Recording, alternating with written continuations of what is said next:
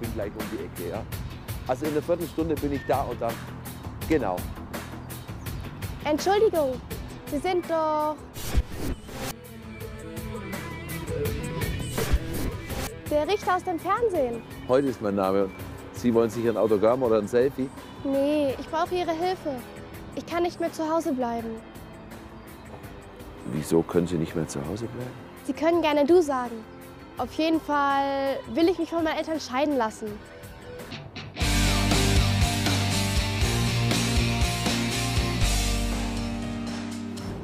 Du willst was? Mich von meinen Eltern scheiden lassen. Das habe ich denn heute Morgen auch schon gesagt. Das ist doch völlig aus der Luft gegriffen. Das war so überhaupt nicht. Ich habe dich hundertmal gefragt, ob zwischen dir und deiner Arbeitskollegin was läuft. Und du hast mich hundertmal angelogen. Ich, ich vertraue dir einfach nicht mehr. Ich will die Scheidung. Mein Gott, es war ein Ausrutscher. Aber wenn du das willst, dann musst aber du ausziehen. Und die Mädchen, die bleiben bei mir. Bei dir und deiner Neuen. Lisa und Anna kommen mit mir. Schatz, tut mir leid, dass du das jetzt mit anhören musstest, aber du und Anna, ihr bleibt bei mir. Ich gehe mit keinem von euch mit. Ich lasse mich jetzt von euch scheiden. Und jetzt hättest du gern meine Hilfe als Richter. Hm? Wie ist denn dein Name? Lisa Kreisler. Also Lisa, hör zu. Juristisch geht das gar nicht. Man kann sich nicht von seinen Eltern scheiden lassen. Aber es muss doch irgendwas möglich sein. Ich kann nicht mehr zu Hause bleiben. Weil deine Eltern sich scheiden lassen. Weil mein Leben eine Katastrophe ist. Es ist übertrieben grausam, wie meine Eltern sich verhalten. Also wenn das so ist, dann solltest du dich einfach zuerst mal ans Jugendamt wenden. Bei dem scheiß Jugendamt war ich schon. Die glauben mir eh nicht. Vielleicht hilft es ja, wenn ich mit dem Jugendamt rede. Das würden Sie tun? Also mal ganz langsam. Ich kann dir überhaupt nichts versprechen. Nur, dass ich mit deiner Sachbearbeiterin spreche, wenn du mir ihren Namen sagst. Danke, Herr Holt.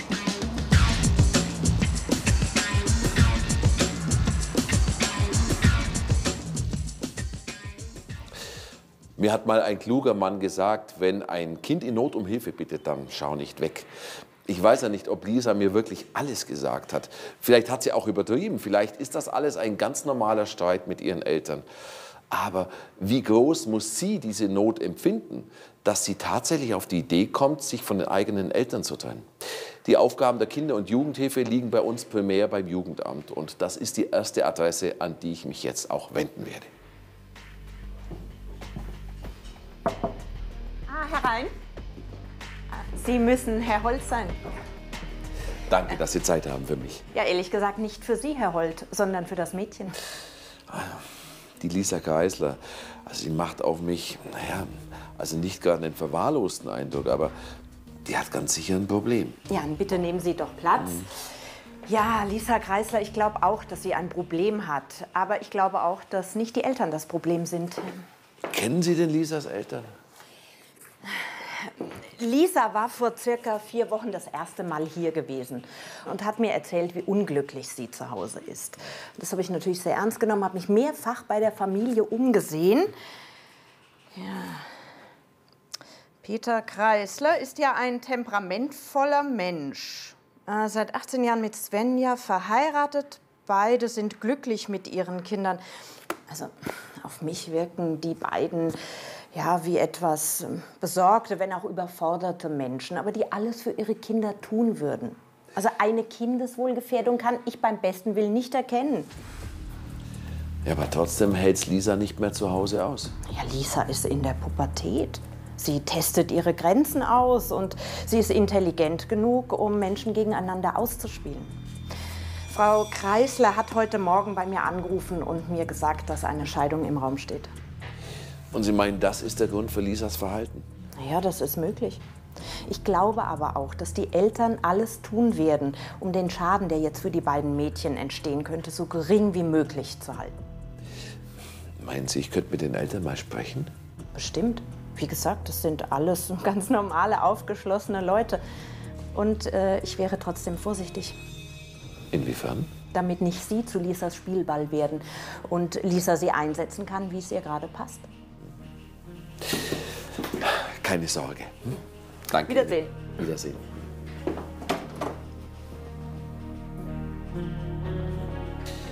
Wie kann es sein, dass Frau Runge vom Jugendamt einen völlig anderen Eindruck von der Familie vermittelt als Lisa? Also entweder schaffen es die Eltern, das geschickt zu vertuschen, dass es massive Probleme gibt, oder Lisa lügt. Aber warum sollte sie dann so weit gehen, das Jugendamt zu verständigen und mich als Richter aufzusuchen?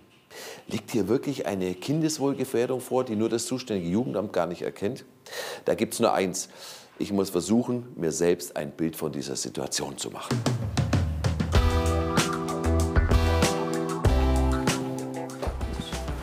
Guten Tag.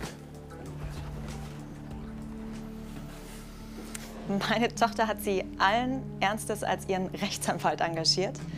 Oh Mann, Herr Holt ist Richter, nicht Anwalt. Ich habe ihn nur um juristische Hilfe gebeten, Ja, und, und für was brauchst du juristische Hilfe? weil mir hier ja keiner zuhört.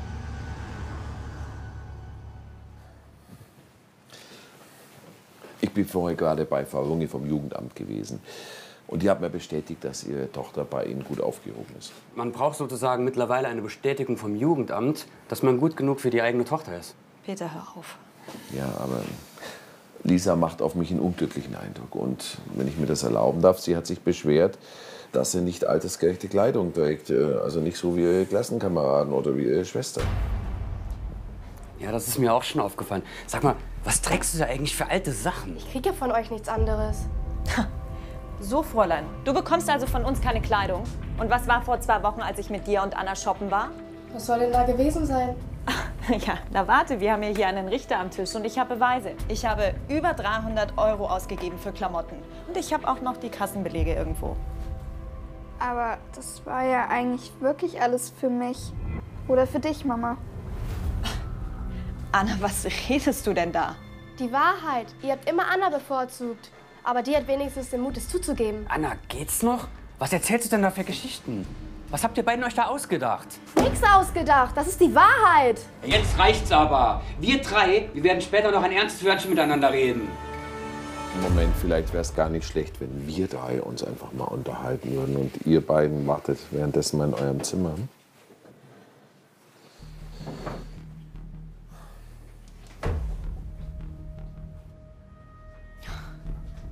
Ich fasse es einfach nicht.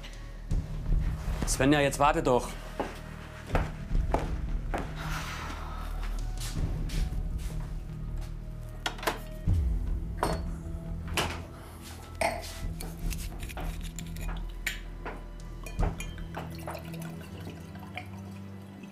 Möchten Sie auch einen Schluck? Danke, also für meinen Geschmack ist es noch ein bisschen früh für Alkohol. Du?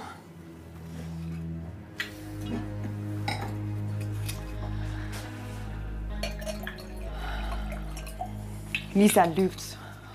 Und jetzt hat sie auch noch ihre Schwester dazu gebracht. Ich weiß einfach nicht mehr, was ich machen soll. Das liegt alles an dieser komischen Hip-Hop-Gruppe, was auch immer Lisa da macht. Wenn Sie mich fragen, machen die dort alles Mögliche, aber nicht tanzen. Wir hatten schon einmal den Verdacht, dass Lisa dort mit Drogen, also mit Marihuana in Kontakt kommt. Also damit könnten wir uns noch abfinden. Aber dass Lisa zu einem deutlich älteren Mann ins Auto gestiegen ist, damit habe ich ein Problem. Was heißt das?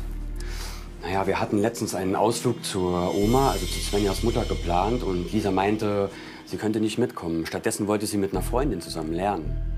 Das klingt doch eher nach einer fleißigen Schülerin. Nein, Lisa lernt nicht mit Freundinnen zusammen. Nie. Naja, wie auch immer. Es, es kam mir irgendwie komisch vor. Und dann bin ich ihr einfach. Ja, ich bin ihr gefolgt. Ich kam dann zu diesem Proberaum dieser Hip-Hop-Gruppe und plötzlich kam ein Wagen vorgefahren. Es war offensichtlich, dass beide dort verabredet waren. Und konnten Sie sehen, wer da im Wagen war? Nein, ich, ich habe ihn leider, leider nur von hinten gesehen. Dunkle Jacke, dunkle kurze Haare. Aber es, es war auf jeden Fall ein Mann. Aber wie gesagt, durch die, durch die Scheibe konnte ich ihn nicht genau erkennen. Was für ein Wagen war das? Das war ein, ein weißer Kombi. Das, das Nummernschild habe ich leider auch nicht, weil als ich auf die Idee kam, es zu notieren, waren beide schon losgefahren. Naja, und wir hatten Angst, dass Lisa gar nicht mehr mit uns redet, wenn sie erfährt, dass Peter ihr gefolgt ist. Lisa ist sicher kein ganz einfaches Mädchen. Nee.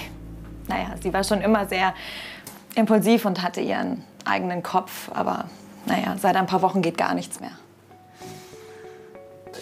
Hören Sie, ich weiß von Ihren Eheproblemen und dass möglicherweise eine Scheidung ins Haus steht. Das ist für Kinder nie ganz einfach.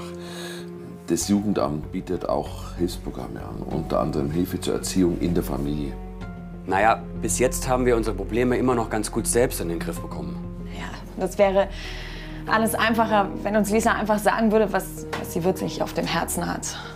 Also wenn Sie einverstanden sind, würde ich jetzt ganz gern mit Anna und mit Lisa allein sprechen. Manchmal ist es ja einfacher, mit einer außenstehenden Person zu sprechen. Okay.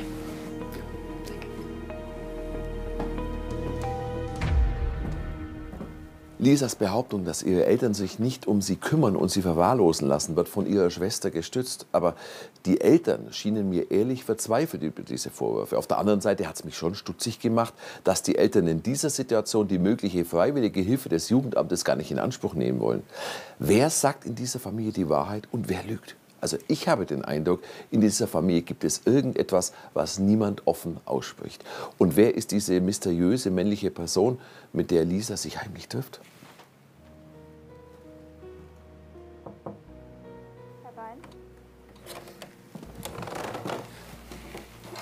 Anna, ich würde gern mit dir reden. Ich glaube, ich kann Ihnen gar nichts sagen. Du könntest mir zum Beispiel sagen, ob das mit dem Shoppen gelogen war oder nicht. Ähm, nee, das hat schon gestimmt. Was habt ihr denn eingekauft? Ähm, ein Job für mich und äh, eins für Mama.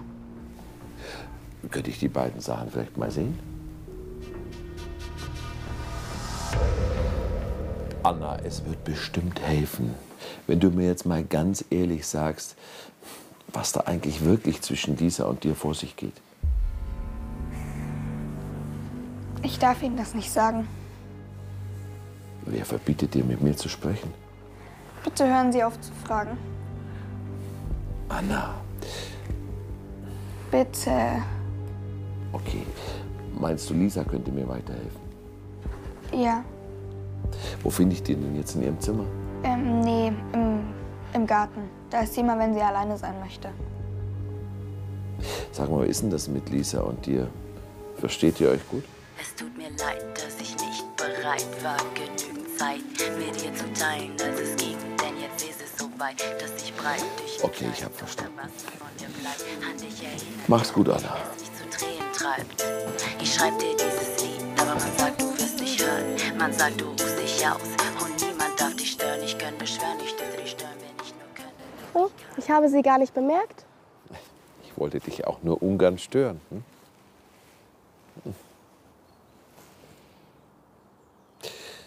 Naja, ganz aktuell ist die Scheibe nicht. Hm? Das ist für mich eine ganz besondere CD. Eine besondere. Persönliche Gründe.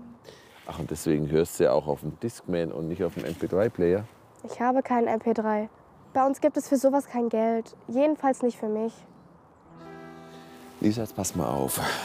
Deine Eltern sind mit der ganzen Situation genauso unglücklich wie du. Aber darüber redest du nicht. Und deine Schwester verschweigt mir was. Ich weiß jetzt nicht, worauf Sie hinaus wollen. Lisa, gibt's irgendein Geheimnis in deiner Familie? Irgendwas, was ich wissen sollte? Wer ist zum Beispiel der Mann, zu dem du ins Auto gestiegen bist? Hm? Bei der Hip-Hop-Gruppe, da hat er doch auf dich gewartet, oder? Was? Das ist doch nur eine Geschichte, die meine Eltern erfinden, um von sich selbst abzulenken. Da ist kein Mann. Kein Mann? Kein Freund oder so? Ist es ein Verhör? Ich denke, Sie wollen mir helfen. Wie soll ich dir denn helfen, wenn du mir nicht die Wahrheit sagst? Also, da ist wirklich kein Mann. Ich habe auch keinen Freund. Ich will hier einfach nur raus. Lisa, dir ist schon klar, dass du erst mal in ein Heim kämst, wenn du wirklich hier ausziehst. Ja, ich weiß auch schon in welches. Jugendeinrichtung St. Katharina. Gar nicht weit von hier. Die haben zwei oder drei Bettzimmer. Und neben der Schule kann man noch Kurse belegen. Außerdem haben sie einen riesen Garten. Du hast dich schon informiert? Natürlich, ich muss doch wissen, wohin ich komme. Ich weiß nur noch nicht wie. Also eigentlich muss das Jugendamt ja tätig werden, wenn du sie darum bittest. Aber für eine sogenannte Inobhutnahme brauchst du dann schon auch noch die Zustimmung deiner Eltern. Vergessen Sie es. Die stimmen niemals zu. Dann müsste das Jugendamt das Familiengericht einschalten. Aber dazu müssten gewichtige Anhaltspunkte für eine Gefährdung des Wohls des Kindes oder der Jugendlichen vorliegen. Ich muss vor Gericht? Ja. Und das kann Wochen oder Monate dauern. Also zumindest, wenn kein konkreter Anlass für eine Eilmaßnahme vorliegt. Konkrete Gründe? Die hassen mich. Wie konkret denn noch? Du, es geht nicht um Shoppen oder ob du einen MP3-Player hast. Ja. Das kommt nur in Frage, wenn eine konkrete Verletzung vorliegt oder eine körperliche Gefahr für dich. Hm, verstehe. comfortable as I am. I need your reassurance. Nach dem Gespräch mit Lisa gestern habe ich noch mal mit ihren Eltern geredet. Die haben mir versprochen, ihre Eheprobleme erstmal hintanzustellen, um zu verhindern, dass sie ihre Tochter verlieren. Die Gefahr besteht wirklich, denn Lisa hat mich gestern noch mal angerufen und hat mir klar gemacht, dass sie es zu Hause einfach nicht mehr aushält. Sie will sich unbedingt von ihren Eltern scheiden lassen. Sie will ins Heim. Gut, Lisas Wunsch ist das eine. Ich fühle mich vor allem ihrem Wohl verpflichtet. Und da ist für mich das Heim der letzte Ausweg. Wenn es aber gelingt, die Probleme der Kreislers zu lösen, dann kann ich die Familie vielleicht retten. Aber dazu muss ich erst einmal herausfinden, was hinter Lisas Wunsch, ihre Eltern äh, zu verlassen, wirklich steckt. Und dazu bin ich jetzt zu ihrer Hip-Hop-Gruppe gefahren. Vielleicht finde ich hier ja mehr raus. Okay, nochmal von vorn. Fünf, sechs, sieben, acht.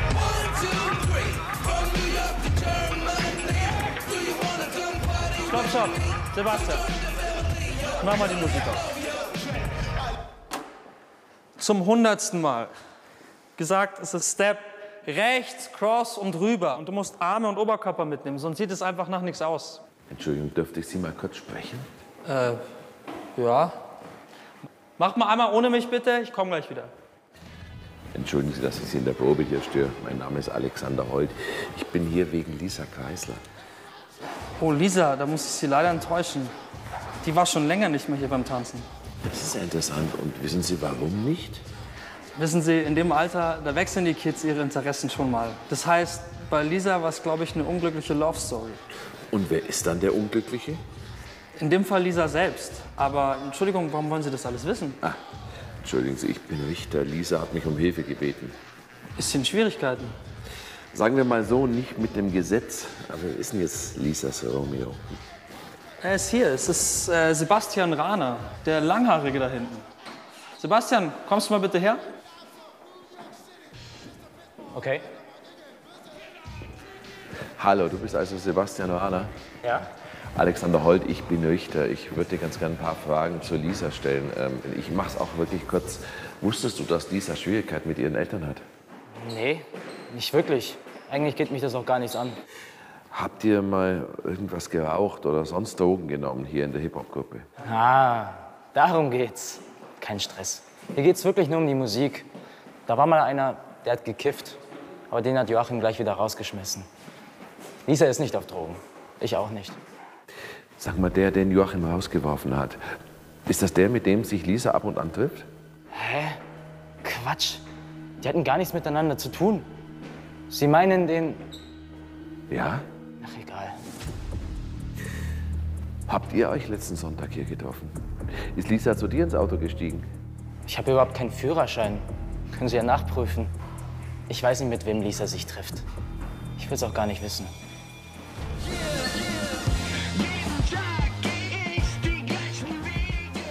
Wenn Sie was über Lisa wissen wollen, fragen Sie Lisa selbst. Danke für den Tipp.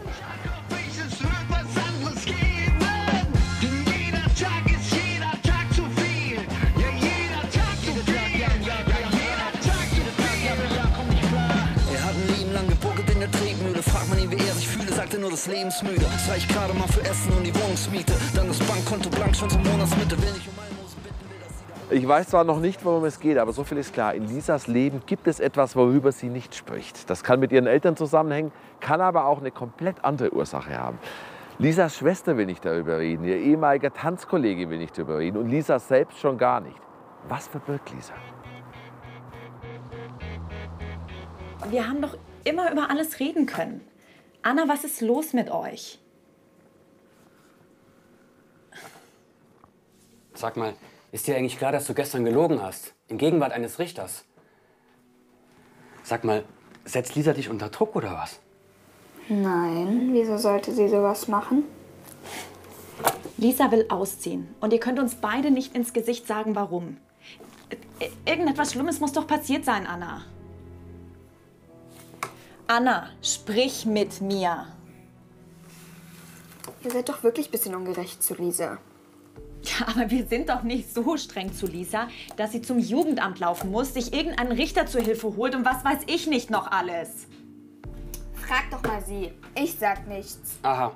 Es gibt also doch etwas, was ihr beiden uns nicht sagt. Kreisler?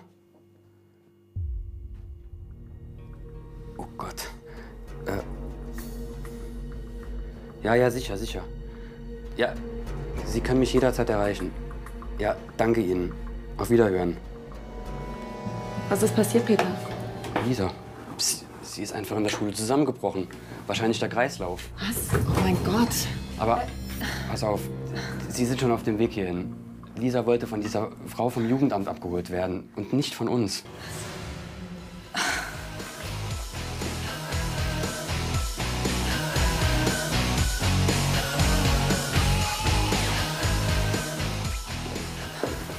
Mein Gott, Lisa, was ist denn passiert? Frau Kreisler, bitte nicht. Ich habe Lisa versprochen, dass sie alleine sein darf. Sonst wäre sie nicht mitgekommen.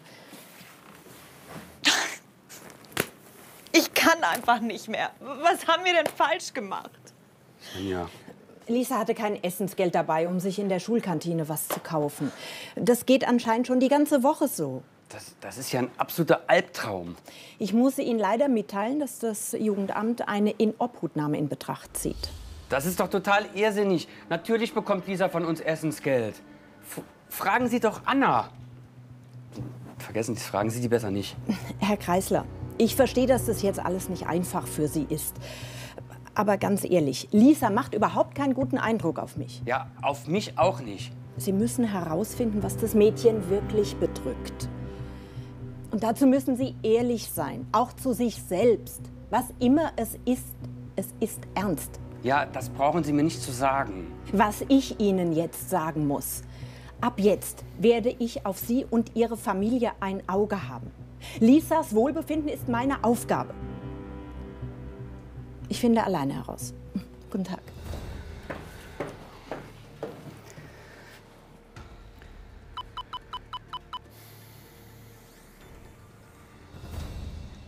Holt? Peter Kreisler hier. Hallo, Herr Holt.